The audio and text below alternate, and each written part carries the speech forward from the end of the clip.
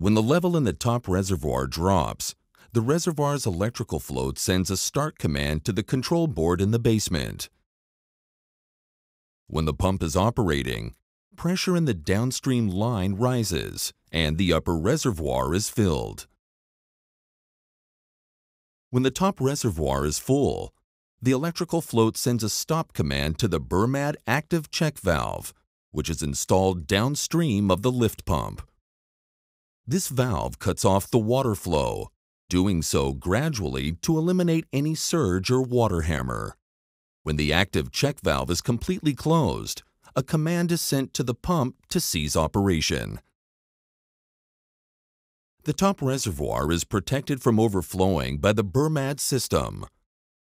In the event that a foreign object prevents the electrical float from stopping the filling process, the water level would continue to rise. In such a case, Bermad's hydraulic float, installed at a preset emergency level in the top reservoir, is activated and closes a safety valve located at the entry point to the top reservoir. If the lift pump would continue to run, the pressure in the supply line of the rooftop reservoir would rise to a dangerous level that could damage the system. To avoid this happening, the Bermad system includes a pressure relief valve located at the pump outlet in the basement. The valve releases excess pressure back to the lower reservoir, thereby protecting the system.